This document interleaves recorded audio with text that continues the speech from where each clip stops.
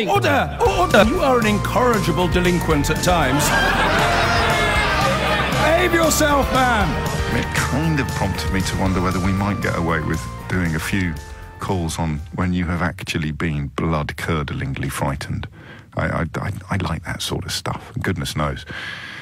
Brexit would not be permitted, no. You wouldn't be allowed to ring me up and say, oh, God, James, seriously, you think that fellow who nearly fell off a hang glider was scared? Well, I live in a country that's about to impose economic sanctions on it, so no, that, that would not be permitted. Um, we may talk about some footage you may have seen of a Syrian refugee being appallingly abused on a Huddersfield playing field, but I. The, the, the, the bully is apparently 16 years old, and if I sat here, and this is a problem with the footballification of everything, isn't it? I feel sorry for 16 year olds who do really vile and dangerous things because I don't believe that 16 is an age at which you have arrived in that vile and dangerous place entirely of your own volition. I, I believe you have been radicalized. But if I sat here on the morning after a terror attack undertaken by a teenage fundamentalist or, or indeed a teenage white supremacist and sought to defend or, or, or explain their behavior on the grounds of radicalization, I, I don't know what sort of reception I'd get. I suppose it would depend on, for many people, tragically, it would depend on whether it was a white supremacist teenage terrorist or whether it was actually an Islamist fundamentalist teenage terrorist. Whereas regular listeners to this program will know we will only be in a better place and safer when we react identically to identical crimes, regardless of the ethnicity or motivation of the culprit. So, so I look at this Syrian refugee who already had a fractured arm as the result of a previous attack. I think we're putting the footage up on the website. Um, and I also feel sorry for the bully. That's the kind of snowflake I am. So I don't know quite where the conversation would go. I'll put that one on hold. It's only Wednesday. We, will have till the end of the week. If charges are brought, of course, we won't be able to talk about it. But I want you to be aware of the story. The other story that you will be aware of by now, I hope, is the um, uh, Rotherham rape victim who has waived her rights to anonymity, Sammy Woodhouse, speaking out incredulously about her rapist being offered access to her son, who who was born as a as a result of rape. And again, I I, I mean, you just have to hope it's a mistake because if this is some sort of systemic flaw within Rotherham Council's bureaucracy, then heads need to roll. But I'm going to wait again on that one until I know whether or not it is actually a mistake, a glitch in the system that needs to be excised immediately, or whether it speaks of a broader policy, in which case it's time to man the barricades. What an incredibly brave woman she is. Seven minutes after ten is the time. And some of the other stuff that we may have a little look at if we have the chance includes how on earth have we ended up living in a country where it's cheaper to get a plane ticket to Australia in some circumstances than it is to get a return ticket from London to Manchester. And, um, well, David Beckham is in the news for giving his daughter a kiss. I, I, don't know that I can manufacture any outrage about the idea of a man kissing his little girl on the lips. I didn't even realise that was questionable. But as I say, there's a lot to get through today. Um, oh, and there's some vegans. I always like a bit of vegans in the news. This occasion sees them storming a steakhouse and playing the sounds of cows being slaughtered, which is actually my introduction to vegetarianism was Meat Is Murder by Morrissey, by the Smiths, before Morrissey went bonkers. And that indeed did contain the soundtrack, apparently, of cows being slaughtered. Didn't work on me. So there's lots to choose from. Uh, let me know if you've got any preferences from that particular menu of conversations. Um, it annoys the hell out of Sheila Fogarty when I do this. She, of course, has to decide what she's going to talk about at one o'clock. So hurry up, tell me what you want to talk about today, and we'll do our best to meet your needs. We begin inevitably with Brexit. Two and a half years. Um, two and a half years later, the thing that some of us have been saying all along has now come true. We, we are deliberately making ourselves poorer in order to address or uh, float the vain hope that individuals' xenophobia can somehow be cured by state sanctioned xenophobia. There's a reason why Theresa May's deal when she trumpets it, she begins always by talking about how, for once and for all, we're abolishing free movement. Because that is, whether you like it or not, that is the only tangible thing she can point at. Everything else is prediction or forecast, right? So she knows this. So she can sit there and say, she could lie and say that there are economic forecasts that are positive, and there are people, of course, so embedded in their delusion and, and so in denial about their deception that they would cheer her along. There'll be people on the other side still claiming that there's an alternative, despite not being able to tell you what it is. But what Theresa May, I think I finally worked it out. I've been close to working it out previously. I've sort of looked through the letterbox of working it out. But it, it's hard sometimes to believe that the scale of the stupidity that the country has been, um, what's the word I want, entranced by. So here's what happened. Theresa May's not a massive fan of the European Union, but she's a pragmatist. This is not an I feel sorry for Theresa May topic, I promise you, but bear with. She is not a massive fan of the European Union.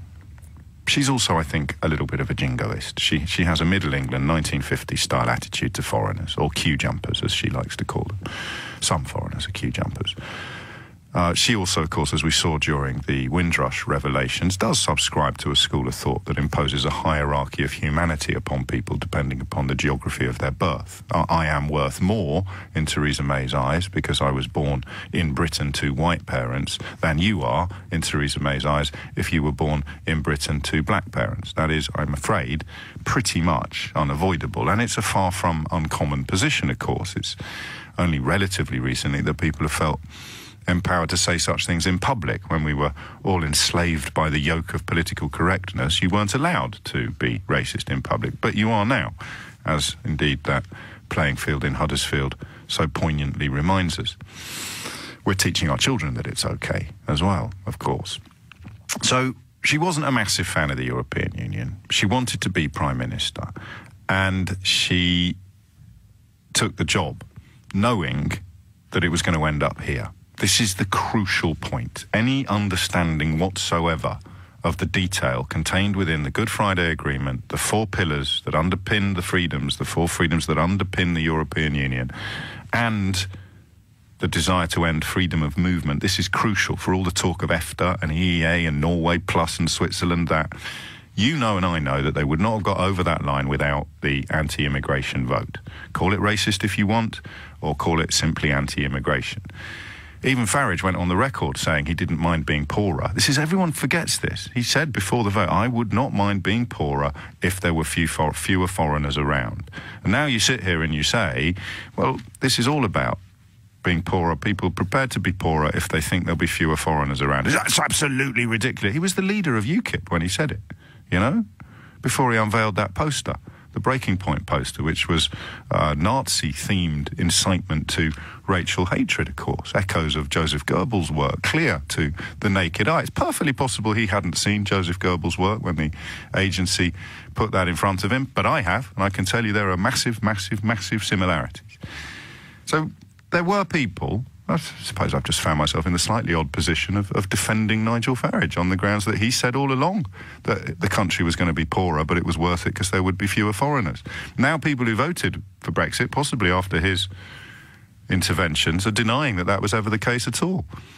That was the weirdest morning, wasn't it? When people started ringing me up saying they didn't mind if their children lost their jobs or they didn't mind if they were poorer. It, it would somehow be worth it. And they talked about sovereignty and control without knowing what either word meant. And, and ultimately, in terms of something tangible, something measurable, something that Theresa May will actually be able to point to and say, this would not have happened without Brexit all you've got is the abolition of freedom of movement. That is literally the only codified, formal, written down thing she can sell to the public. Whether or not it's enough, I still don't know. But as soon as freedom of movement became weaponized in the run up to the referendum, all roads were going to lead to here. Now, I don't dislike you or, or, or, or, despise you or feel disgusted by you if you're still in denial about that, if you still think that it could have ended up somewhere else. It could if we hadn't weaponized freedom of movement. But the weaponization of freedom of movement, plus the Good Friday Agreement, plus the four freedoms, plus the red lines, means that we could never have ended up anywhere else but with the deal we've currently got. So, what's the new thing I've worked out? Well, Theresa May's epic error of the last two years was to believe that eventually the likes of Boris Johnson and David Davis would have to concede reality. She presumed that if they were nose to the grindstone, if they were in the inner sanctum, not necessarily responsible for the negotiations, but absolutely party to the realities of those negotiations, then there would come a point when they would have to turn around and say, yeah, okay, this is the best deal that we would ever be able to get. She presumed that by putting them in the cabinet and by giving them these incredibly powerful jobs and titles, Liam Fox on the list as well, although he seems to have fallen into line, he seems to have, at least on some level, accepted reality she presumed that they would have to join her. Now, I don't know what she thought would happen next, whether she thought there would be a retreat or a reversal. I suspect not, to be honest with you, but I think she felt if, if reality became utterly undeniable, then they'd have to come with me when the deal is eventually done. And that was her biggest mistake. That, that, that emerged after Chequers when Davis and Boris Johnson chose to walk the plank and continue lying as opposed to accepting the absolute reality of the situation into which they have thrust this utterly undeserving population. So that's the problem now. Because she thought when this deal came to Parliament, it would be impossible for the ringleaders of Brexit to argue that there could be something better on the table she could cope with Jeremy Corbyn arguing it because Jeremy Corbyn lacks credibility. So for him to stand up and say, oh, I've got a better deal, but I can't tell you what it is yet, that she could just about accommodate. And with the slavish press behind her, she could probably have pulled that off. But what she needed to do, and we'll see whether she gets it through Parliament or not, but to be sure of getting it through Parliament, she needed the heavy hitters to have accepted simple reality. And that's why she put them in the front of the car. And they've let her down. She could cope with an Iain Duncan Smith, uh, a, a, kind of lunatic fringe type politician, claiming that there was sunny uplands as yet undecided or undescribed, but somehow attainable. She could cope with the European Research Group. She obviously understood how much power they really wielded, rather better than they did. The nonsensical politician Steve Baker, claiming to have 80, 90, 100 people ready to chuck her under a bus, is now culling his own WhatsApp group of people whose ideology isn't pure enough. Apparently, 30 MPs have being removed from that ERG WhatsApp group, which Nadine Dorries used to ask whether anyone could explain to her what the customs union was, because she kept losing arguments about why it was a good idea to leave the customs union. See? It was a clue of how surreal things were becoming. So Theresa May thought that they would have to fall into line behind her. She could deal with the outliers like Rees-Mogg and Duncan Smith. She could deal with the opposition like Corbyn and McDonnell. But she needed to bring in the big beasts of Brexit, particularly Boris Johnson, who could, of course, have jumped either way, but elected for reasons of pure self-interest to back leave. She presumed that if they were presented with a large piece of moon rock, they would have to stop claiming that the moon was made of cheese. So she gave them both moon rock. And she got it horribly wrong because they gave the moon rock back when they resigned and marched to the newspapers claiming still that the moon was made of cheese, that unicorns are on the horizon, that you can have cake and simultaneously somehow eat it. And that's why we are where we are. I'm Beth's whispering in my ear about how late we are for the next break, but I've got about 20 minutes more material prepared on this. So that's why we are where we are. It's that simple. So who's left? people who have recognised reality, okay, whether you're a leaver or a remainer, this is as good a deal as anyone was ever going to get, or people who haven't recognised reality, who are still buying into the notion that if Theresa May hadn't been a Remoaner, or if somehow the hands hadn't been tied, we could have secured an unspecified but utterly brilliant arrangement with 27 countries who remain adamant that we couldn't have done. That's how mad things have become. So here's the question, maybe today, I don't know, we might work towards something else. But if you are still, um, let's have a quick look at the board here. Billy says, predictions of economic growth are of no use. Um, May's deal has always been dead in the water. So if you're still buying into the idea that there was something better on the table, what would have had to have happened in the last two years for you to have accepted that there wasn't? Do you see what I mean? So you, you can say, well, we should have put Farage in charge. He said all along that we were going to be poorer, but it was worth it to have fewer foreigners around. Uh, you could call that racism if you want. I do, but it doesn't necessarily mean that that is what it is. You could have put Rees-Mogg in charge, a man whose economic advice is um, adamant that any supposed gains at the till would be offset by the absolute destruction of British industry and agriculture. So you could have Rees-Mogg in charge, end of industry and agriculture. You could have Farage in charge. I don't mind being poorer as long as there are fewer Johnny foreigners around. You could have Boris Johnson in charge, a man who knows that we should remain in the European Union, but thought that campaigning to leave would improve his chances of being Prime Minister. Or you could have David Davis in charge, who had two years to negotiate the better deal and came away with precisely nothing. Do you see how clear it is? Why is anyone still in denial? I, am sort of cautiously suggesting that we've reached a point of agreement again. It's like on the morning after the referendum when I said the one thing we can all agree on is that nobody knows what happens next. I would put it to you as the Chancellor tours the studios of the United Kingdom, explaining that we are deliberately making ourselves poorer.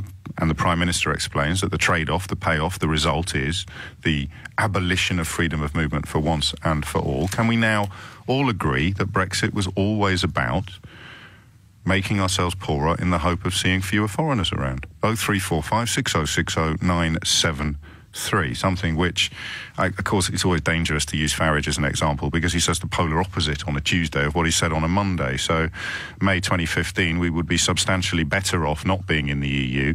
May 2018, I never said it would be a beneficial thing to leave and everyone would be better off a kind of definition of a liar there. Vote for Brexit for a better quality of life, April 2016. May 2018, I never said it would be a beneficial thing to leave and everyone would be better off. And the worst case scenario economically is better than where we are now. That was June 2016. May 2018, I never said it would be a beneficial thing to leave and everyone would be better off. And the people who've believed his lies don't mind because they honestly think that being poorer is a price worth paying for the chance, the possibility, the hope of Johnny Foreigner being a little thinner on the ground. And that's all it ever was. So we can all pack up and go home now. Well done. I don't think it will work. I don't think you will wake up the morning after we leave feeling less racist, regardless of how many foreigners are living on your street or um, supposedly sleeping in your doorways. You'll still be a massive racist. You'll still be angry, but you'll be poorer. Great. Clint's in Croydon. Clint, what would you like to say? Yeah, hi. Uh, good morning to you. Uh, right, okay, first and foremost, I would like to say that I was am a Brexiteer. I voted no, I didn't want to stay with the EU. Mm-hmm. So uh, I didn't vote for a deal. I voted to leave. I understand that when the um, Remainers stood up and, and voiced uh, Cameron, etc., it was all about GDP, GDP, GDP, GDP. There was all that was all it was about. There was nothing about the country and people's feelings. No, there was loads about what the economic impact would be on each yeah. individual but, but, family, wasn't there? So no, Clint, I, I'm happy to listen to you, but if you say something that's not true, my job is to, to stop you and correct you. There was an awful lot from Mark Carney, from George Osborne, from David Cameron, from lots of other Leave campaigners explaining what the economic impact would be personally, explaining the possibility of factories closing, explaining what the actual sum of money reduced from each individual family budget would be. So there was also talk about GDP, but what you just no, said isn't true. I understand that, Good. but obviously it was all speculative. But the reality is that's not really why I'm calling. The, the situation well, then, then why not start with the reason why you are calling instead of starting with the reason why you're not calling, being corrected, and then somehow trying to gloss over the mistake that you just made? Well, I don't feel I have made a mistake. Okay. So I'll oh. say it again.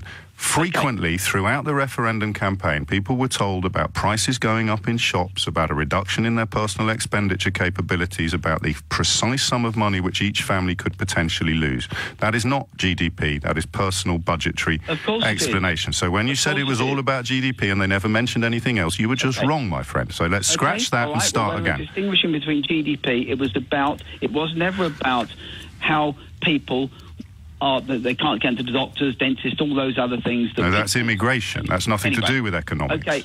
If I can get to the point of why I'm calling, because I accept we are where we are. Yes. And from what I can understand, the big problem is the backstop. Now, the dangers are, according to what we're understanding on the media, is that we could be caught and the EU are going to control exactly when we can possibly leave that. No, the, the, the, the arrangement is, and I completely sympathise with your failure to understand this because you're having all sorts of nonsense poured into your ears by all sorts of people. There is a group of Brexiteers, as you like to call yourself, who claim that it's really, really easy to solve the problem of the Irish border, but they are simultaneously furious about the suggestion that we can't fully cut our ties with the European Union until that solution to the Irish border has been put in place. So the people you're in bed with are arguing, on the one hand, that it's really, really easy to do it, and on the other hand, that we can't have doing it as a condition of leaving. So there is a contradiction there that I hope now I've explained it, Clint, Yeah. you can see very clearly. For sure. I'm not. Well, tell me what I just said, Clint. 100% it's not easy. Clint, tell me what I just said.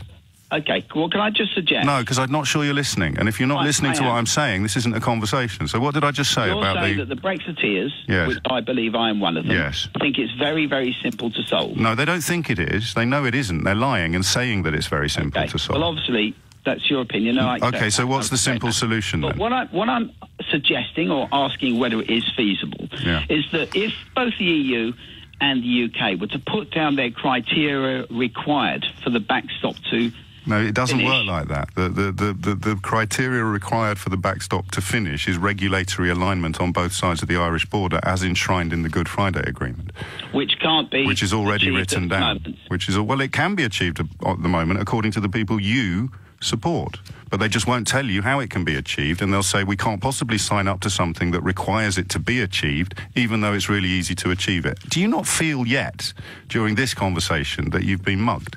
No, I don't. Okay, I- so I- the I- I solution mean, is simple, but they don't know what it is. Well, it has to be in place before we can leave, and they're objecting to Well, the idea that it has to be in place before we can leave, despite. one thing.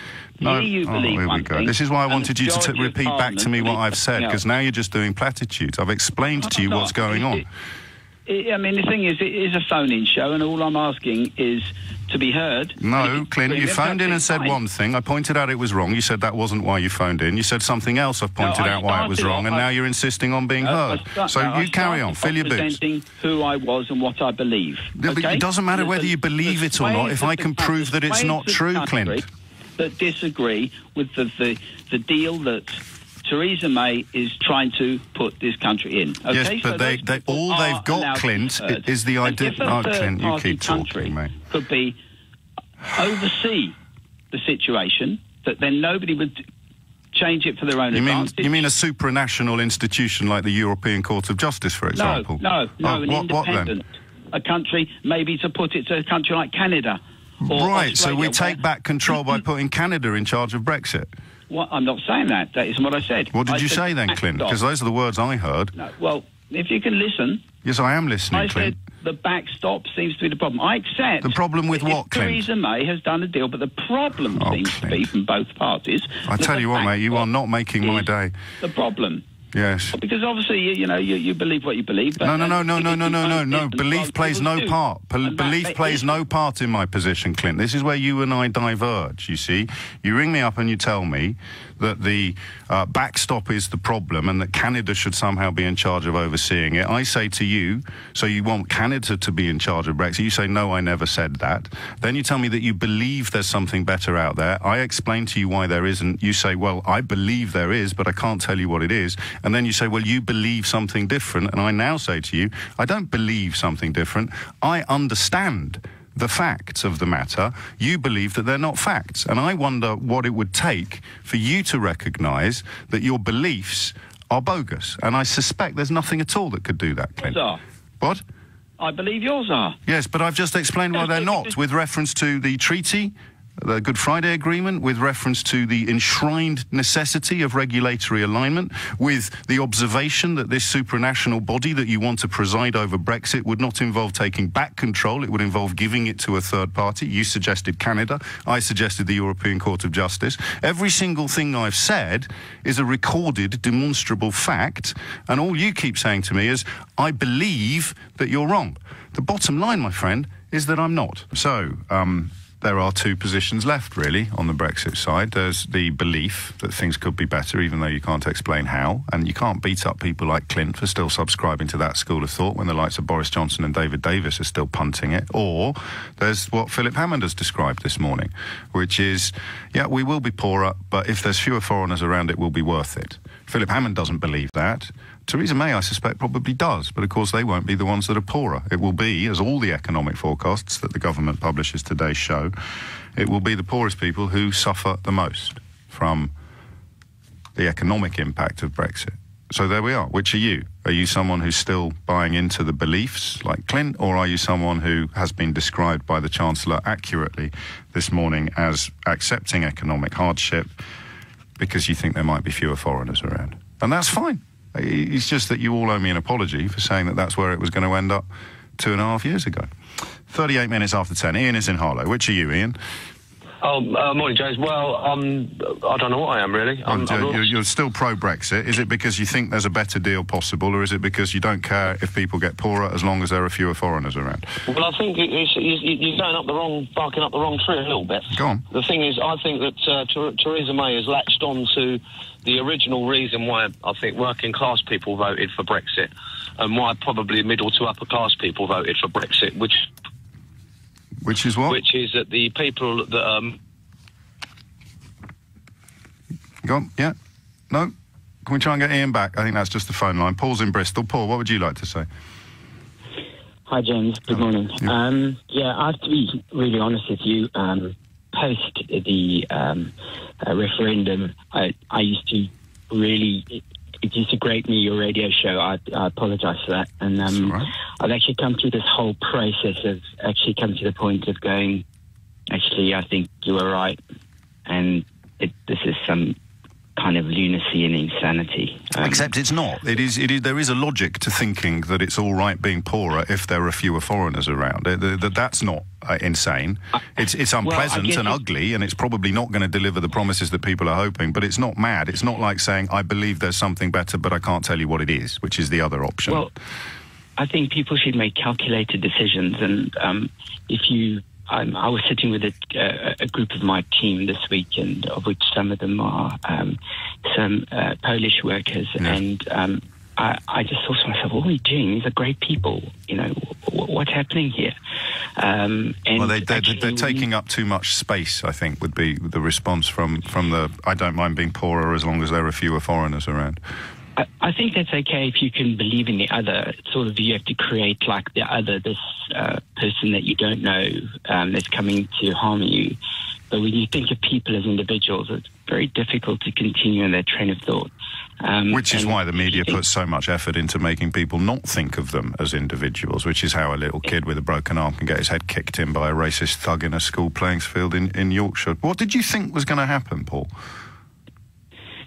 Well, I was a Remainer, yeah. um, but you know, obviously, when um, after the referendum, I thought, okay, give these guys a go. They, you know, hopefully they'll be able to do something. Um, but I think basically, um, and I might be wrong with uh, by saying this, but it's just such a poor reflection on the kind of leadership we have. Um, I disagree with you on that. It could not have gone better. Uh, unless we retained freedom no, no, no. of movement. I, am not suggesting that it could have it, but it's this kind of the promises that people were told. Oh, yes. um, you know, there was like it was such a lot of overreach instead of just being more measured and you know and clear about it. And I think a lot of people said, yeah, yeah, you know, we're going to get all this stuff, um, and um, it's just not going to happen. Um, and I think loads of people are going to get hurt in the process. Um, and, uh, but at what point does that pain? Does that? I mean, if if we end up seeing a, a, a reduction in immigration, um, as seems pretty likely, if they bring in this thirty thousand pound threshold, m- most people in the country would fall below that, whatever their geographical origins are. Um, of course, what people never mention is that they are customers as well. That's fewer customers for every business. What do we want? Fewer customers. What do we want? Fewer taxpayers. So, at what point do people recognise that they've actually hurt themselves. Because my fear is, of course, that what happens next is they won't blame themselves for hurting themselves. They'll somehow try to blame someone else. Probably the EU still, even though we won't be in it anymore, or, or the Remainers that sabotaged the plan that they still can't tell us, but which would have been absolutely brilliant if only they'd got around to telling us what it was. Well, in a city like Bristol, I mean, I run a big business um, and um, in, in um, social care, Yes. and it's it's becoming quite difficult now because you cannot get staff, and it's not as though Yeah, but at least the queues at the GPs will be shorter. You see, Paul. You might you might go bust, and the people that are in your care might have to find somewhere else to live. But at least the staff that you would have employed but now won't because of Brexit won't be going to our schools and clogging up our surgeries, Paul. Well, the thing is, is that um, people like us won't go bust. The price of care will just increase, which Hmm. means it'll affect everybody more. Well, that's great because Um, that means your staff will get higher wages, Well, they are getting high wages at the moment, Yes. which is, you know, it, it, and you're still not- struggling to fill spaces. I mean, I guess the market will right itself at some level. Um, it's just, you know, I hope so. it's the tragic situation that we're in. But, well, um, it's tragic for you. It's tragic for me. It's tragic for anybody with their eyes open. But if your eyes are still closed and your fingers are still crossed and you still believe that things could have been better, it's not tragic. It's actually infuriating. You feel betrayed and let down, not by the people who have lied to you, but oddly by the people who've been telling you for two and a half years that what's happening now was inevitable. So the only people left are the ones that I think, I genuinely think this. I know I'm sounding cheeky, but when you take Hammond's comments about the economy and May's comments about freedom of movement, the calculation is we as a country are going to make ourselves poorer in order, hopefully, to make people who think there are too many foreigners stop thinking that there are too many foreigners around. History suggests that is unlikely to work.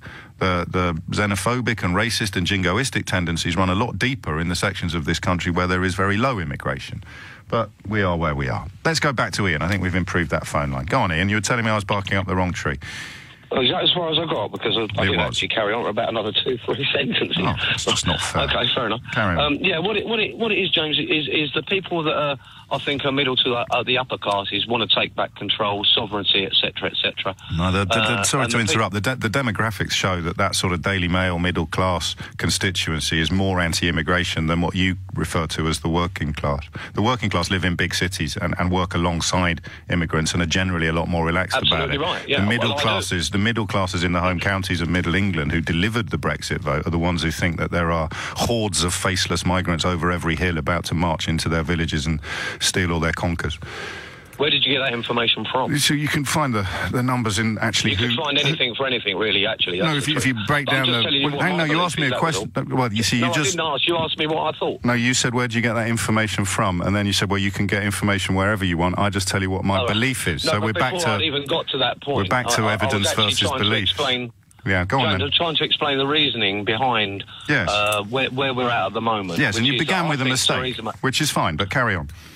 I believe that Theresa May has latched on to the fact that uh, working most working class people voted for Brexit for more for infrastructural reasons than anything else. Right. Which is to do with the fact that the all the governments over the previous years have completely and utterly uh, uh, uh, lacked investment in any of the, our infrastructure, whilst at the same time Well, that's austerity, isn't it? privatising. Privatising. Well, they were doing it before 2008. There's nothing to do with European Union membership.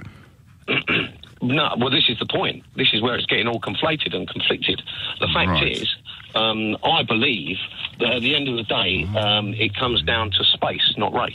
Yes, I said And to the last fella, actually. I said to the last fella it's about really what- space. What, I would love, Yes. what I would love, is for um, people on the left-hand side of politics uh, to realise that um, it's, it's it's actually a combination of immigration, old age, and lack of money from previous governments over the last 40 years that have led us to this situation right now. And how That's do you think the situation will the be? right- Hang on, no, I- I'd like to hear from. I just want to Well, ask you a just let me question. finish. Oh, Just okay, finish. yeah, I did the absolutely. Carry on. Right, the left-hand side want to blame um, uh, uh, old age and etc. etc. No. And the right-hand side blame immigration, and that's where we're at. Okay, so uh, just out of interest, how do you think we're going to be able to improve public spending and infrastructure by reducing the amount of money the government has to spend? the, the point is, w- a- a- again, and I know it's a subject that you've covered. please, uh, please you've a crack about at the question I've asked, mate. Growth, growth.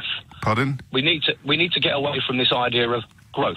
Right. and how we celebrate uh, uh, Apple achieving 700 billion pound profits. we're we're not on et cetera, et dissimilar cetera. hymn sheets here, although I don't really understand we your, your left-right distinction. But no, I I need to ask you. No, Ian, mate, I've let you have a crack. I just want you to have a go at answering my question. For no? self, self-sustainability.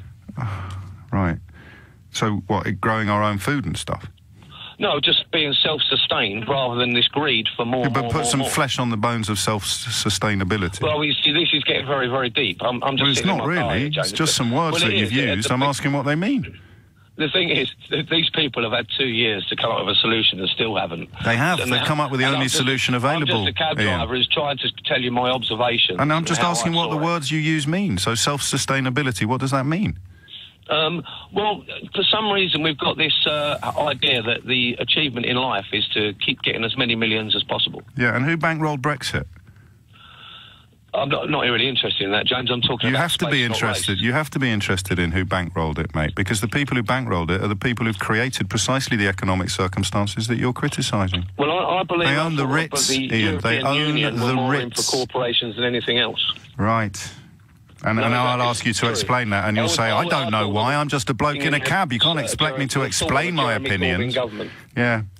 So I'll ask you No. one more time. How are we going to improve infrastructure and public spending by having less money to spend on the public, Ian? Yeah, but there it never been, hasn't it? Does that answer the question, mate, if you could? Yeah. Go on. H- How are we going to increase public spending by having less money to spend? Hello. Hello? Hello. How are we going to increase public spending by having less money to spend? No, you're missing the point, James. Oh, the, ma- the must be it, situation mate. is our country is in a worse state than what it was 25 years ago. Yes, and, and it's about to get even worse, and it's your fault. It's 10.48. I, I sometimes wonder why I bother. I, I dropped one of the finest gags in the history of British radio earlier in the programme, and I don't think anybody noticed apart from a couple of people on Twitter. talking to poor old Clint, who's still um, waiting for his unicorn to be delivered. And it, it breaks my heart to hear decent people like that still enthralled to the liars and the charlatans like uh, Johnson and Davis and Farage and the rest of them. But his name was Clint. So halfway through the conversation, in a sort of uh, low voice aside, I said, You're really not making my day, Clint.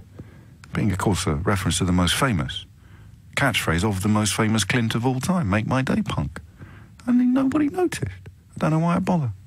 Speaking of famous phrases, um, every time I find something on the internet, especially on Twitter, that looks brilliant, and I retweet it, someone comes back to me and says that's not real. So I started checking, and I didn't check this one because if this one isn't real, I'm going home. All right, this is the legend, the late legend, Christopher Hitchens, which kind of sums up. I can't believe I've never seen it before.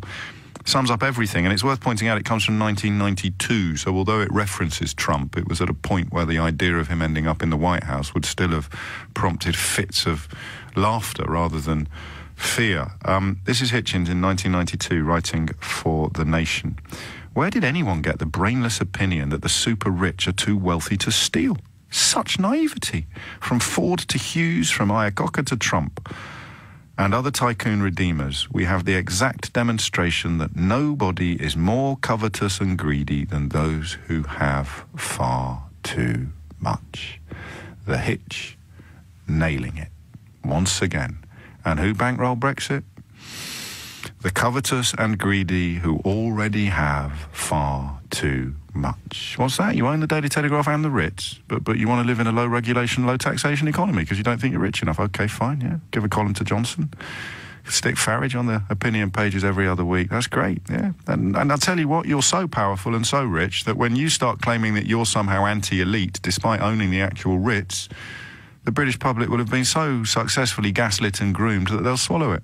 Where will it lead, James? Well, I've been telling you for two and a half years where it would lead. It will lead to a point where we find ourselves today. Either you now put your hands up, like the last fella did with the space not race line. You put your hands up and say, I don't care if we're poorer, as long as there are fewer foreigners. I'm not a racist. It's all about spacist. Or you do what the earlier caller did, Clint, who didn't make my day. All right, I'll drop it now. You should have laughed more, though. You do what Clint does and say, I believe. I still believe there's something better. What is it? Can't tell you. It's all your fault. What?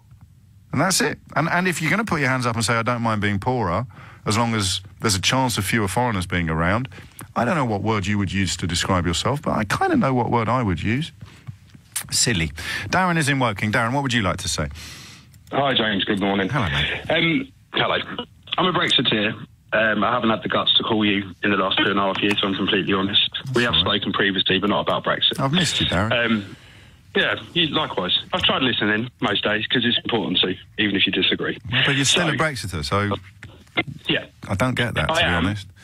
Well, I was a massive EU supporter before the referendum was called. Right. I was a massive. I was the guy down the pub arguing against friends that would talk about immigration and all these Eastern Europeans, blah blah blah. It would be me shutting it down, saying "Look, you're talking nonsense, you're talking rubbish, and I'm still of that view. Okay, Sure. so Brexit is not about immigration to me. But, but you did vote leave. Correct. Right. Why? Why? Why the sound that that is incompatible? The two things I've just said. I, uh, but because quite- because you're still in favour of it now, I can understand why you would have done that at the time because you thought that, that it would be possible to secure some sort of trading arrangement and somehow surrender and abolish freedom of movement. But now you know that it's impossible. I'm intrigued by why you're still on side, what it is you still believe. Well, the, the, the as as immigration wasn't wasn't a factor to me, it becomes an irrelevant point, doesn't it? Exactly. If, if you see what I mean. Exactly. So all the other so points- Let's take that out of the. Yeah. Yeah. Okay. Now look, I'm I'm going to say a lot of things that you can rip apart, but for instance, because there's a lot of things that I believe Brexit would deliver that I know we could have done as a member state of the EU. Again, right. Well, I don't need to rip them apart, do I? Well, I understand that's contradictory, but what there was one, I mean, we'll use the word belief. One part of my belief was that it would rein- reinvigorate our democracy in this country because I always thought that leaving the EU would create a lot of discussions about different things that we haven't talked about for decades as a nation, and that in theory should reinvigorate the conversation. For example? and maybe give us. Um, so, for instance, I would say things like um, state aid within within industry. So, for instance, if we, uh, you know, you, you know, like again, I know the, the the Germans are French; they own their railways and everything. So, this isn't something we needed to leave the EU for. But by leaving, it creates a platform where we could talk as a nation whether we want to renationalise, Yes. whether you know all of those things. So, there's there was a lot of what I voted for that was about value, Are, potential. are you a bit Corbyn-y? Um, I'm look, I'm I'm a liberal left wing historically. Yes. And as a Brexiteer, and I've always felt quite aligned to you, and we've ended up. Uh, sorry, it's a bit cheesy to say that, but we've ended up on totally different paths. And I promise you, James, I have questioned my decision every single day. It, I, I've thought about nothing more important. For the last two years, I've devoted as much time as I can I completely believe you, it. which is why I am genuinely intrigued by how you could still be on that side of the fence. Well, I'm going to throw something back at you. Go on. you, you, you, over the last two, two and a half years, you started out by talking about how people hadn't informed themselves, or they were misled, or didn't understand, didn't listen. And what you've honed in, honed in on in the last six to eight, nine months, I'd say, Yeah. is your criticism is that Brexiteers are believers, believe in Brexit, believe in what we can achieve. My point to you, and I think this is such an important point, is you believe that staying in the EU will all be okay. No. You believe that the pig economies won't drag down the currency. You believe that there probably won't be, or you believe there wouldn't be a European I army. haven't I might be putting words in your mouth. Well, you are. I, I, I, Yeah. mean, we have as but members. you we believe it will all be okay, James. no, staying, it's don't not. you? It's not a question of belief. I haven't mentioned the pig economies for two and a half years. So No, no, no. I am. I, I know Because you are, but you're you're telling me what I you believe believe about. be You're telling me what I believe about something that I, I don't ever mentioned. So here's. Okay. I, I suppose if you want, what you're trying to do is say, James, you believe stuff too. Yeah, okay. And what, Yeah. what, okay, so let me. Well, of course- of course I do, but So it's not- it's not my- What, what, Okay, well, you can advantage talk- do you see of leaving the EU, James? Same, what advantages do you see that we will gain as a nation by leaving the EU? I mean, surely you can't be as binary as uh, great to stay, terrible to leave. What, you know. I think advantages. Please of- elaborate I'm having on a think. I'm going to be. I'm already late for the news, so don't don't don't don't get the hump when I have to move along. I'm going to give it a few sec, a few, a genuine benefit of leaving the European Union. In in, in what context? Under the What? terms of the deal that Theresa May has No. achieved, or in No. some fantasy deal that hasn't been agreed? No, don't, don't, see, don't do the derogatory. It's not derogatory, Darren. There is there is reality that it, no, Darren, mate. I've given you so many cracks of the whip, but you you, you don't get to. haven't. Well, I have, my friend. What word would you use to describe a deal that doesn't exist? I'll use your word. I won't use fantasy. All right. So the question I'm asking you is: Do you want me to respond to your question from the context of reality? Or do you want me to answer it in the context of something that hasn't happened, which I have called fantasy and you don't like? So, what word would you prefer? I would like you to respond to it based on where we were before Article 50 was invoked, but after the vote to leave. Right. Were there opportunities where we could have created better situations for our nation? I think there were. I, in the? I think there were up to and including the point at which freedom of movement was non-negotiable. So if freedom of movement was staying on the table, I think you can make a case, and some people are, for an EFTA type arrangement, which would Norway, exactly. Which would, yeah, but, Exactly, but no, Darren, Darren, not exactly. Darren, freedom of movement was never, ever, ever going to be taken off the table, and there would have been no Brexit without the weaponisation of freedom of movement. you again, knew this. You, you're the one that I- says this in the pub, man. James, I agree. Right. But, but what a Brexit, what the Brexiteers didn't understand that what it opened up to is there would be a conversation over the next ten years about a fair immigration system. And Oh, the for the next ten years, we haven't talked about anything else for the last ten years. I'm, I'm, I'm late for the break. Thank, I, I'm, I'm, I'm glad we're talking again, Darren. I've missed you, my friend, but uh, come on. The idea that we could have done Brexit without abolishing freedom of movement? Neither of us honestly believe that. Handed a suspended sentence for the attack in Croydon in South London in May. It was caught by a dash cam and the footage went viral. Sadiq Khan says he wouldn't normally criticise judges, but is making an exception here. I've seen the video. I saw it again yesterday. I was scared watching it. So I can only imagine what the person inside the car must have felt when somebody's not simply brandishing a zombie knife, but using it in a threatening way, banging the uh, window. I don't understand how it's possible for somebody in these circumstances to receive a suspended uh, sentence. And Mr. Khan says he's going to write to the Justice Secretary about the case. The Care Quality Commission has rated a mental health trust as inadequate for the third time since 2015. The watchdog found significant concerns when it inspected Norfolk and Suffolk NHS Foundation Trust in September. Records show patients have harmed themselves while waiting to be seen. The trust says action is being taken to address concerns. A fire has caused a widespread power cut at two hospitals in Southampton.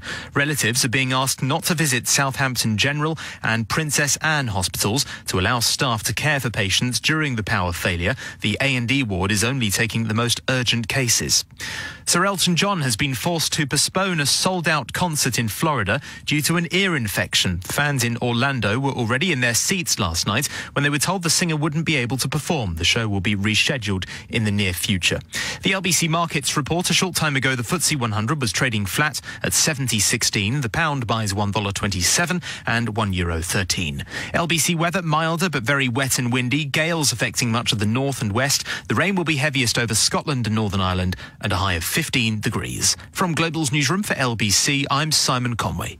Orange, definitely orange. But white looks great. Right, optional extras, interest. Buying a car can be complicated, but at SEAT, thanks to Easy Move, just pick your trim, engine, and colour with metallic paint as standard. That's it. And from November 1st to December 3rd, we're making things even easier at the SEAT Easy Move event. We're offering four years 0% APR finance across the range, plus £500 off the list price when you download a voucher. We can't help you choose a colour, but we can help you make the easy move. Register for downloadable voucher online. Cannot be used with any other voucher. With Solutions Personal Contract Plan. Minimum 10% customer deposit required for Ateca and Alhambra. No minimum deposit on all other models. 18s plus. Subject to status. Excludes Cupra and Tarraco. Indemnities may be required. SEAT Financial Services. Visit seat.co.uk. Is LBC from Global, leading Britain's conversation with James O'Brien.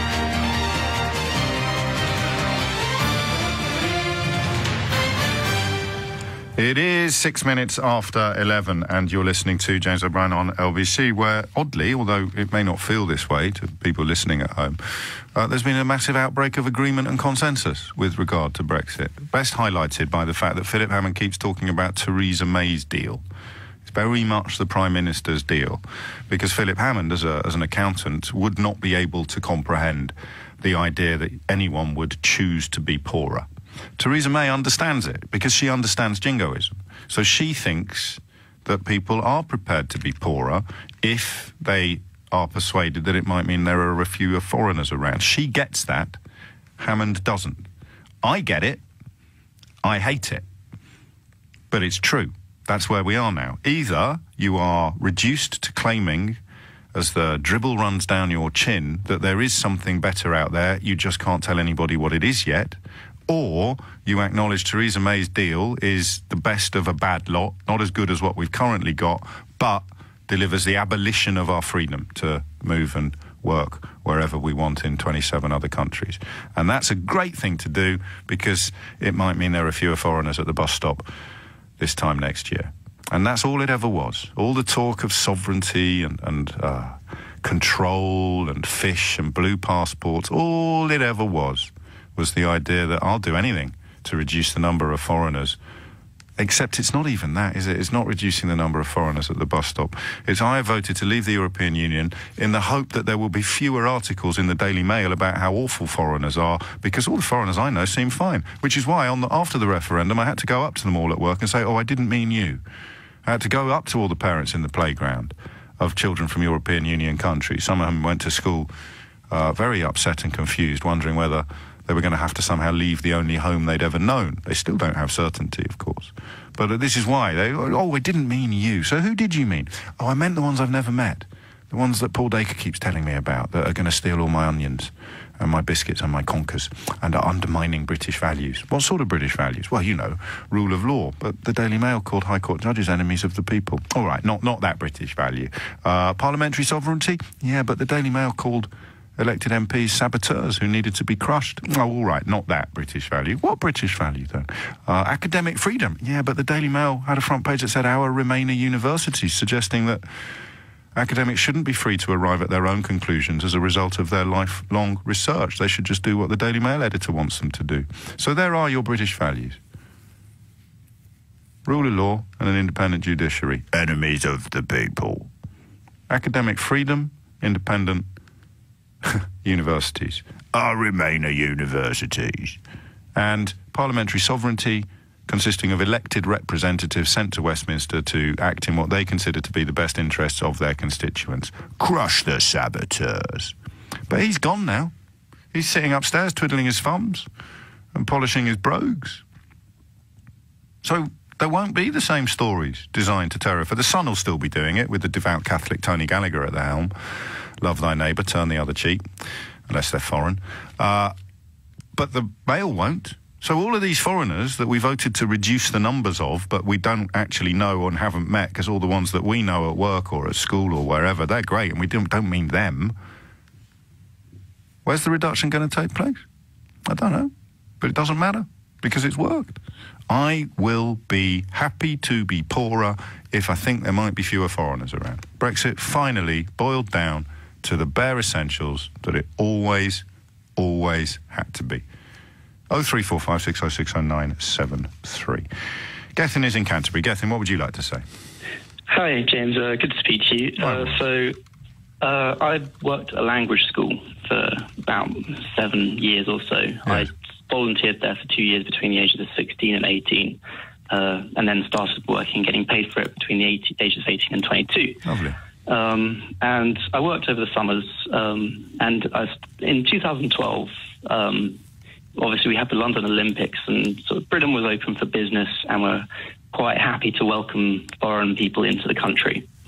Um, and what I noticed over the years of working there is that the kind of instances I noticed racial kind of abuse, either directed towards the students or you know, direct to members of the well, public. What sort of thing? I, I, don't swear, but give us an indication of what, what you would have not encountered previously that you did start stumbling over post referendum.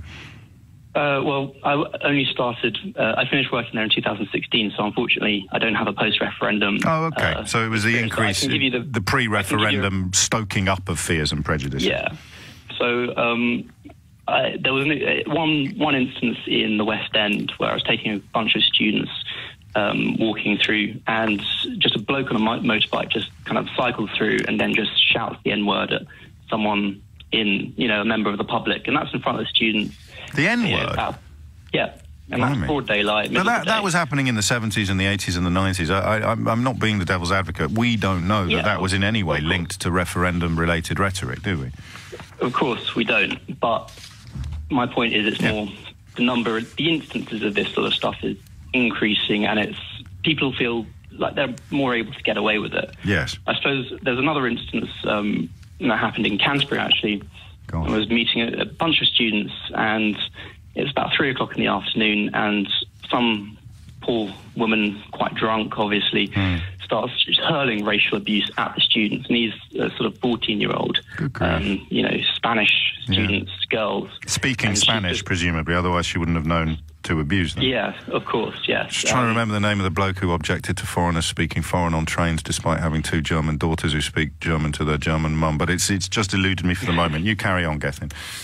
Um, well, yes, and so obviously this woman was kind of taken away by her friends, and mm. you know they're profusely apologising because people still realise that that was the wrong thing to do. However, it's I feel like now post referendum, it's kind of at that stage where it's now acceptable, but I don't know. People, are, I've certainly noticed from my own personal experience, people are a lot more happy to actually be more overtly racist and actually talk to people and actually have conversations uh, which are based on racial kind of discrimination. So, and the idea that that will somehow be diluted or go away after we've left the European Union with a deliberate intention to make ourselves poorer is is where all the sort of cheekiness and fun on today's program disappears because the, the I, I think if if if we were to leave the European Union, you would see firstly European Union nationals leaving the country, which fine, they're already doing that.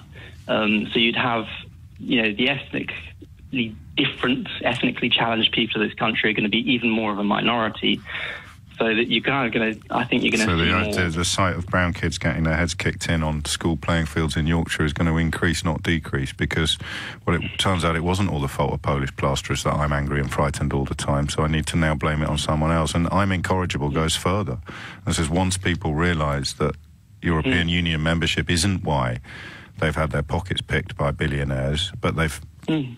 fallen for the lies and the rhetoric of the billionaires and the people they sponsor in the media, like Boris Johnson and Nigel Farage, then then we move into the rhetoric of send them back where they came from, in the belief that that might possibly deliver this mythical dreamland that they remain convinced exists. Yes, well, quite. And um, I also have another kind of experience, and this is something. So I believe that the solution out of this whole turmoil would be to have a second referendum. Yeah. However, I feel that the minority that is doing this for racial reasons will will be opening Pandora's box, and will be it'll be a lot more severe the next time round. It can't get worse. It's, it's, just timings. Uh, I, am in favour of, of another referendum. I'm not massively optimistic about what the result will be, and if it's as close as the last one, regardless of which way it goes, it, it, it would arguably um, uh, make things worse, not better. But I, I, but I genuinely and passionately, and to go back to, to, to the caller just before the 11 o'clock news, I believe, because we all believe stuff, I just don't allow arguments to take place between people who know stuff versus people who believe stuff. But my belief, which I can't currently prove, is that the best course of action for the country is to call the whole thing off, regardless of whatever ructions and rumpuses that might cause in the short term. But I could be wrong about that. The stuff I'm not wrong about is the stuff that's written down, like the Good Friday Agreement, like the Constitution of the European Union, like the rules of freedom of movement. So if people come on the programme and misrepresent stuff that's actually written down, then they will be interrupted. People come on and admit that this is just an opinion and I can't back it up, and the evidence is currently against me, then they'll be sort of politely tolerated for a moment. But I want facts and evidence, and there is no fact or evidence to support the idea that we're going to be better off out of the European Union. There isn't even any forecast or projection that says so, except the stuff that Jacob Rees-Mogg peddles without mentioning that his economic guru thinks that agriculture and industry will be completely obliterated. So even the bloke standing up saying, we'll have cheaper shoes for the poor, even he, in brackets, fails to add, according to a bloke who also says agriculture and industry will be completely decimated. But I'm heavily invested in emerging funds, countries that are currently very poor but have raw materials. My investors are making a fortune out of them, and you don't need to be in the European Union to make a bunch of moolah out of mines in Africa. Oh, by the way, you'll have cheap shoes, plebs. I mean, I mean, it's odd given that the thing that has caused the consensus and uh, a sense, oddly, of relief for me is is nation damaging, deliberate damage of our own nation. But at least I, I no longer have that vague hope because it's not the despair that gets you; it's the hope.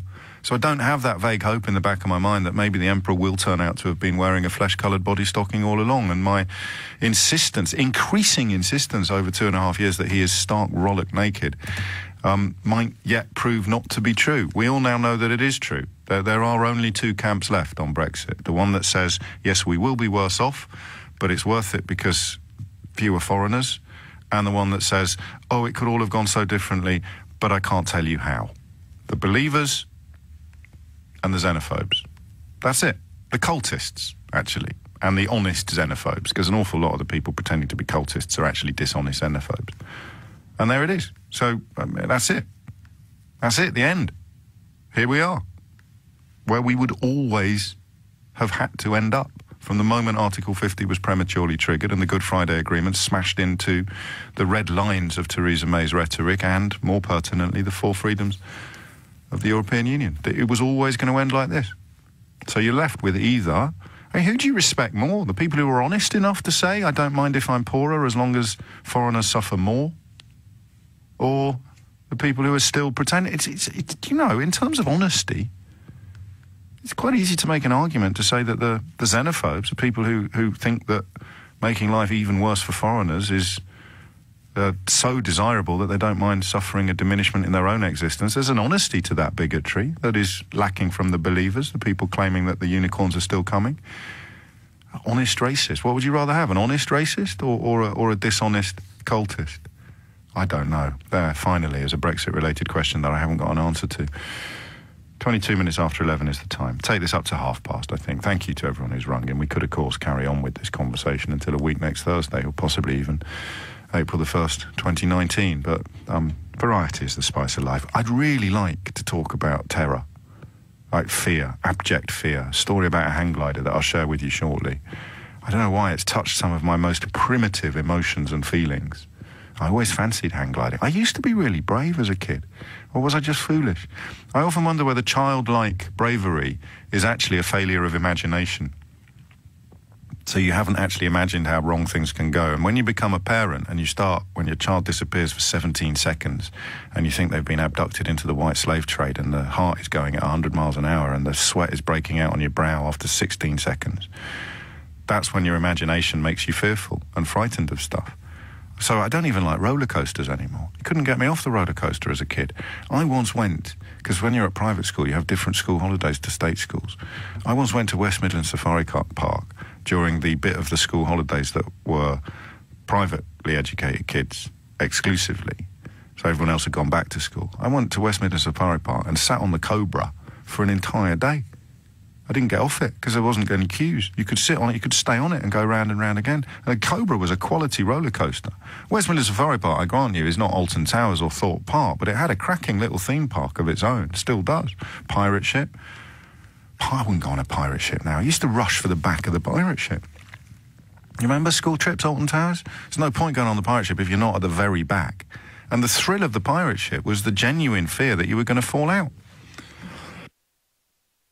at the top of that swing, you'd be genuinely fearful because you'd be pushing your feet to the floor and genuinely thinking you were going to fall out.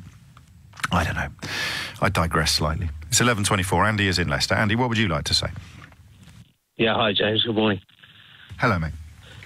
Um, James, just regarding uh, your commentary with, um, you know, the sort of immigration side of things, um, I don't think that's quite accurate on the fact that people voted to leave. I, I think most people obviously just want some sort of control coming into the country f- for our public services, really.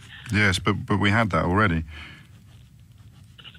Well, not with freedom of movement. I mean, there's no way you can control that. And, well, and there, have, there is know, actually. numbers. There is actually. And how's that done?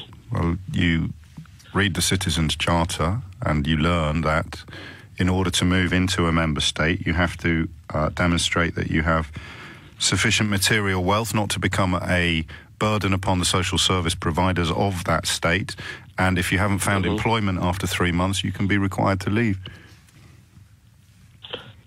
Uh, but but that still leaves a three month window, I suppose. And you know, uh, I think the point is. Say that again. Say that again, Andy. Does that leave a window of three months for, for people right. just to come yeah. and Um, um, Look I for a job for three months. You just said that out, out loud on national radio, mate. So we, we're banning holidays now, are we? No, I get your point with that. What I'm saying is, I think people are just concerned that we've got. It doesn't appear that we had any controls. So why are these coming in. people in the channel at the moment risking their lives in dinghies if it's easy just to waltz through the borders, mate? It's a fair point. I just think that. Well, you need of- to answer it because it's a response to your point.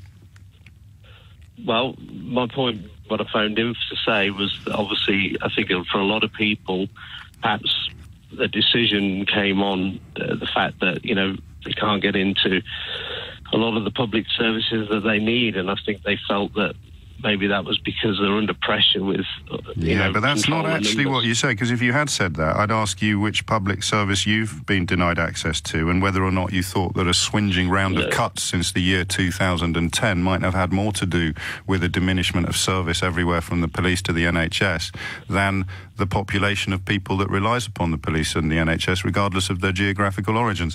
And then I'd have referred you to the number of people born elsewhere who work within the NHS and the police and social care and all the other areas of employment that are considered in some ways to be at the bottom of the ladder and undesirable for some native born Britons. And then I'd remind you that you've just said on national radio, well, maybe three months is too long, which means you're in favour of abolishing holidays.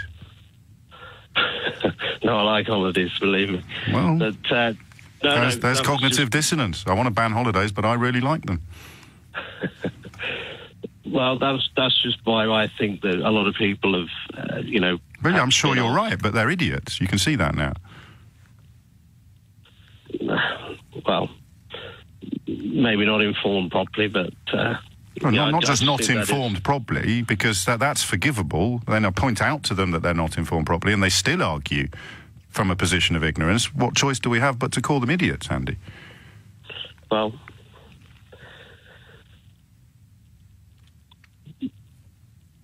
I'll I'll take your point. I'll take your point on that. But tomorrow you'll still call yourself a Brexiter, right? Yeah, I, I am. Yes, I am. I, I you know, And there it is. It all. There it is, mate. Right there. Everything you've said pulled to shreds on national radio. You've ended up arguing against holidays, and you still think you're on the right side of this decision, but you haven't got a Scooby Doo as to why.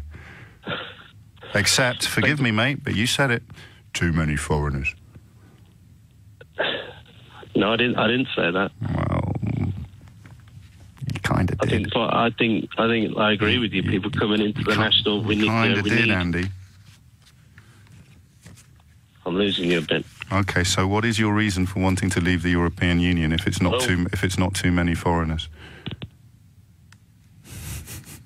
Bless him. It's coming up to half past eleven. You're listening to Joe. Oh, I'm, hang on, I'm, I'm losing you a little bit there. Can't quite. That that that's the question, isn't it? Why why would you still, having just done that on national radio, why would you still think that you're on the right side? Reduced to pretending that the phone line has gone down. I, I bear him no ill will. I bear him no malice. His life will not get better after we leave the European Union. He will be worse off.